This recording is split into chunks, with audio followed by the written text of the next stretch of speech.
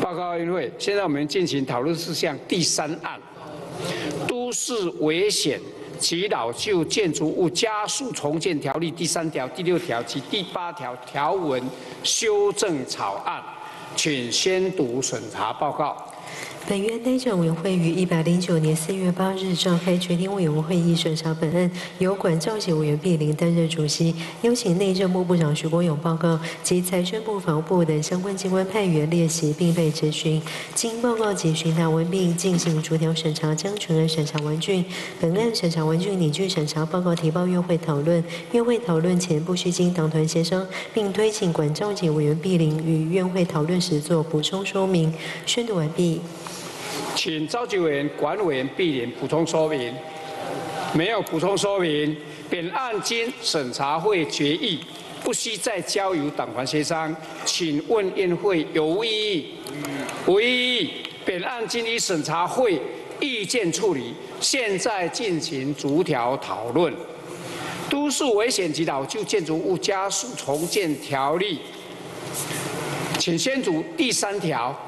第三条，本条例适用范围为都市计划范围内非经目的事业主管机关指定具有历史文化艺术及纪念价值且符合下列各款之一之合法建筑物：一、经建筑主管机关依建筑法规、灾害防救法规通知限期拆除、禁予强制拆除或评估有危险之余应限期补强或拆除者；二、经结构安全性能评估结果未达最低等级者；三、屋龄三十年以上，经结构安安全性能评估结果之建筑耐震能力未达一定标准，且改善不具效益或未设置升降设备者，前项合法建筑物重建时，得合并临接之建筑物基地或土地办理。本条例施行前，已依建筑法第八十一条、第八十二条拆除之危险建筑物，其基地未完成重建者，得于本条例施行日起三年内，依本条例规定申请重建。第一项第二款、第三款结构安全性能评估，由建筑物所有契约人委托经中央主管机关评定之共同供应契约机构办理，办理结构安全性能评估机构及其人员不得为不实之签证或出具不实之评估报告书。第一项第二款、第三款结构安全性能评估之内容、申请方式、评估项目、权重等级、评估基准、评估方式、评估报告书，经中央主管机关评定之共同供应契约机构与其人员之资格管理审查及其他相关事项之办法，由中央主管机关定。之宣读完毕。第三条，照审查会条文通过，请宣读第六条。第六条，重建范围、重建计划范围内之建筑基地，得视其实际需要，给予适度之建筑容积奖励。奖励后之建筑容积，不得超过各该建筑基地一点三倍之基准容积，或各该建筑基地一点一五倍之原建筑容积。不受都市计划法第八十五条所定施行细则规定基准容积及增加建筑容积总和上限之限制。本条例施行后一定期间内申请之重建计划，得下列规定再给予奖励，不受前后。不受前项奖励后之建筑容积规定上限之限制：一、施行后三年内，各该建筑基地基准容积百分之十；二、施行后四年内，各该建筑基地基准容积百分之八；三、施行后第五年，各该建筑基地基准容积百分之六；四、施行后第六年，各该建筑基地基准容积百分之四；五、施行后第七年，各该建筑基地基准容积百分之二；六、施行后第八年，各该建筑基地基准容积百分之一。重建计划范围内符合第三条第一项之建筑物基地，或加计同条第二项合并邻接之建筑物基地，或土地达二百平方公尺者，再给予各该建筑基地基准容积百分之二之奖励，每增加一百平方公尺，另给予基准容积百分之零点五之奖励，不受第一项奖励后之建筑容积规定上限之限制。前二项奖励。合计不得超过各该建筑基地基准容积之百分之十。依第三条第二项合并邻接之建筑物基地或土地，适用第一项至第三项建筑容积奖励规定时，其面积不得超过第三条第一项之建筑物基地面积，且最高以一千平方公尺为限。依本条例申请建筑容积奖励者，不得同时适用其他法令规定之建筑容积奖励项目。第一项建筑容积奖励之项目计算方式、额度、申请条件及其他应遵行事项之办法。由中央主管机关定之。宣读完毕。第六条照审查会条文通过，请宣读第八条。第八条，本条例施行后五年内申请之重建计划，重建计划范围内之土地及建筑物，经直辖市、县市主管机关视地区发展趋趋势及财政状况同意者，得依下列规定减免税捐。但依第三条第二项合并邻接之建筑物基地或土地面积超过同条第一项建筑物基地面积部分之土地及建筑物，不予减免。一、重建期间土地无法使用者，免征地价税，其为一建筑期限限完成重建，且可但于但未依建筑期限完成重建，且可归责于土地所有权人之情形者，依法课征之。二、重建后地价税及房屋税减半征收二年。三、重建前合法建筑物所有权人为自然人者，且持有重建后建筑物。于减缓房屋税减半征收二年期间内未移转者，得延长其房屋税减半征收期间至丧失所有权制，但以十年为限。依本条例适用租税减免者，不得同时并用其他法律规定之同税目租税减免。但其他法律之规定较本条例更有利者，适用最有利之规定。第一项规定年限届满前半年，行政院得视情况延长之，并以一次为限。宣读完毕。第八条照审查会条文通过，全案经过二读，现有民进党党团提议继续进行三读，请问宴会有无异议？无异议，请先读经过二读之条文。第三条，本条例适用范围为都市计划范围内非经目的事业主管机关决定具有历史文化、艺术及纪念价值且符合下列各款之一之合法建筑物：一、经建筑主管机关依建筑法规、灾害防救法规通知限制拆除、禁予强制拆除或评估有危险之余，应限期补偿或拆除者；二、经结构安全性能评估结果未达最低等级者；三、屋顶三十年以上，经结构安全性能评估结果之建筑物耐震能力未达一定标准，且改善不具效益或未设置升降设备者，且向合法建筑物重建时，得合并邻接之建筑物基地或土地办理。本条例施行前，已依建筑法第八十一条、第八十二条下注之危险建筑物，其基地未完成重建者，得于本条例施行日起三年内，依本条例规定申请重建。第一项第二款、第三款结构安全性能评估，由建筑物所有权人委托。经中央主管机关评定之共同供应契约机构办理，办理结构安全性能评估机构及其人员不得为不实之签证或出具不实之评估报告书。第一项第二款、第三款结构安全性能评估之内容、申请方式、评估项目、权重等级、评估基准、评估方式、评估报告书，经中央主管机关评定之共同供应契约机构与其人员之资格管理审查及其他相关审查之办法，由中央主管机关定。之第六条，重建计划范围内之建筑基地，得视其实际需要，给予适度之建筑容积奖励。奖励后之建筑容积，不得超过各该建筑基地一点三倍之基准容积，或各该建筑基地一点一五倍之原建筑容积，不受都市计划法第八十五条所定施行细则规定基准容积及建及增加建筑容积总和上限之限制。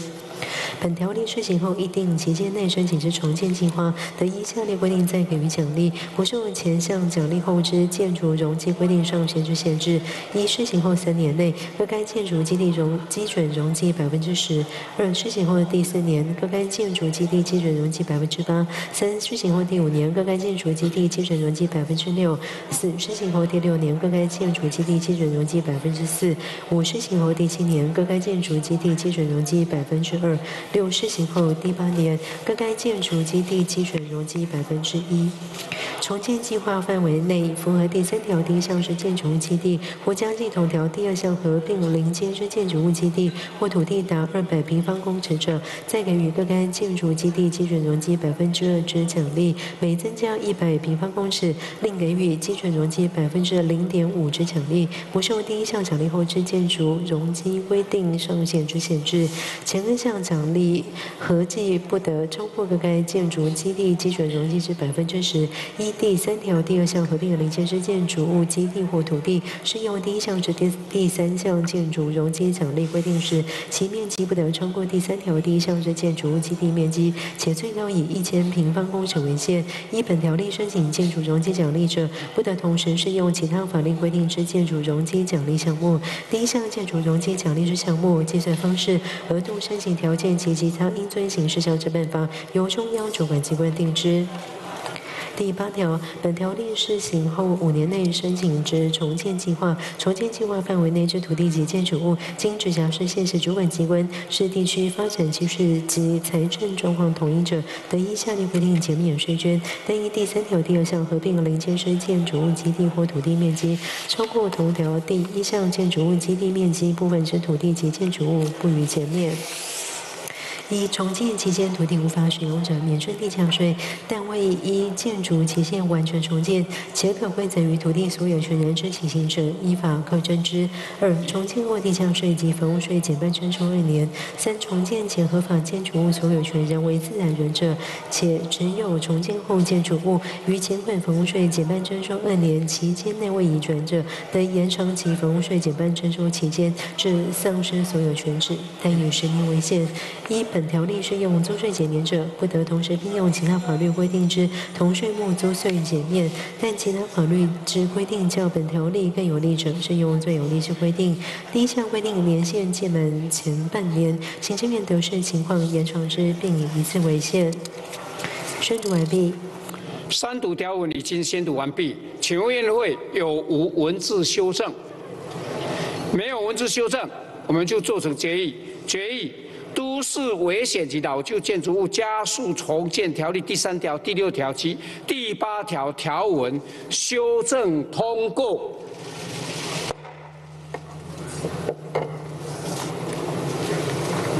报告院会，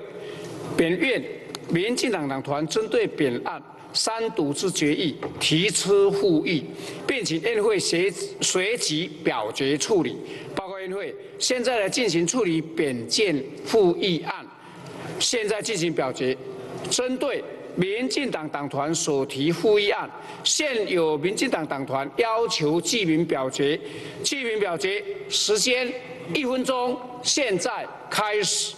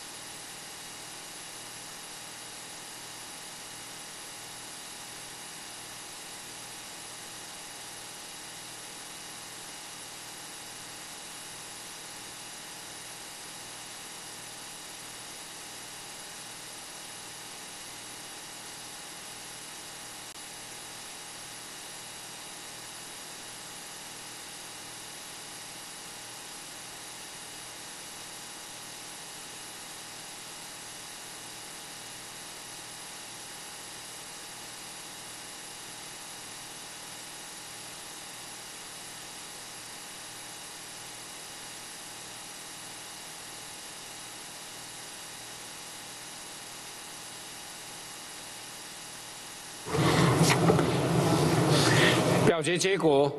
出席五十八人，赞成零，反对五十八人，弃权零。赞成者少数。赞成者少数。决议，民进党党团所提复议案不通过。本案本案完成立法程序后。由委员登记发言，每位每位委员发言时间二分钟。现在我们请张其禄委员发言。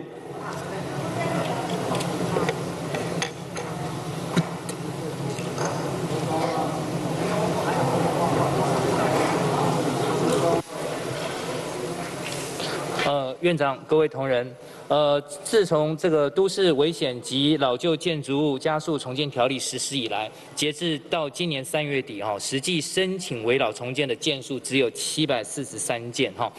那关于围老建筑的这个问题解决进度缓慢哈，我们也不能再等到说每一次重大灾难发生时才来面对哈。那目前全台湾三十年以上的这个老旧房屋哈、住宅等哈，已经超过四百一十万户哈，约占全国的百分之四十七。像其中台北市，它更有六十八的建筑物属于三十年以上的老旧房屋，甚至里面还有更多是四十年、五十年以上的建筑物。对于身处这种地震还有各种这个天然灾害危险的地带的我国哈，这个是确实是一个非常严峻的啊国民的生计、财产、性命安全的问题哈。这一次的这个都市危险及老旧建筑物加速重审条例的这个审议哈。它是为了鼓励加速围老建筑物的前提下，哦，能够被通过哈。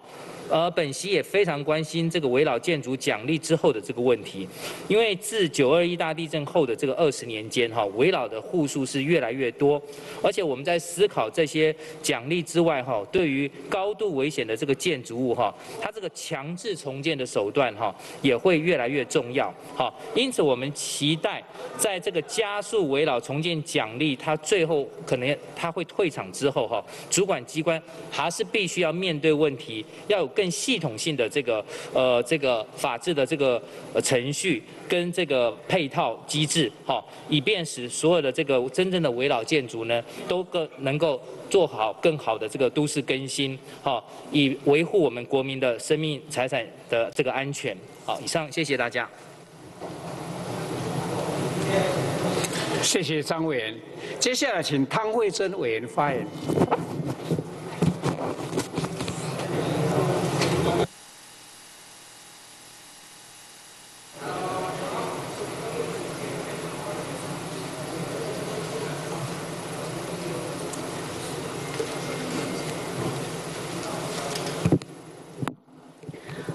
呃，主席以及各位委委员，大家好。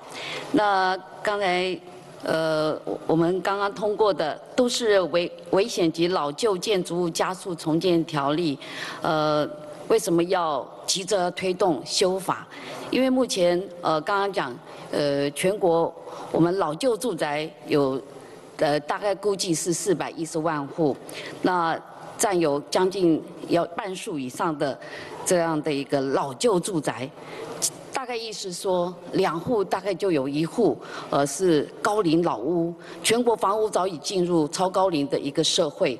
每两户住宅就有一户是老旧需要评估的建筑物。那因为刚刚也有听到，台湾位在地震频繁的区块，那经过好几次的地震，呃，九二一地震，那过去我们新建。房屋所使用的钢筋的磅数而不足，或使用的电线、水管线材质不佳，使用年限过久老化，一生呃电线走火或者水管爆裂等危险。所以我们可以看得出来，我国的一些老旧住宅真的是需要非常的重视。那但是因为内政部给予老屋重建的容积率奖励的期限，呃，即将在我们。今年的五月到期，那就是二零一七年围老条例立法的时候，如果如果在二零二零年的五月以前申请重建的老屋，容积率是可以获得十成奖励的百分之十，呃，但为了提升国人从事意愿，持续奖励老屋重建，政府实在有修法。放宽的必要，所以我们上周初审通过，将容积率时成奖励在原定的三年的容积，呃，奖励时成改成呃五年未来的五年以八趴、六趴、四趴、两趴、一趴的方式逐年递减，呃，在二零二五年五月完全落。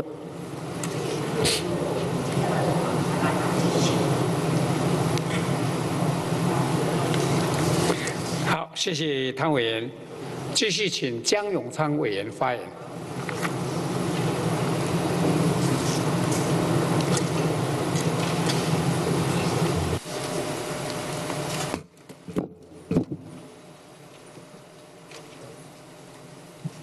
好，院长，与会各位委员，围绕条例通过修正，希望能够带来更好的一些成效。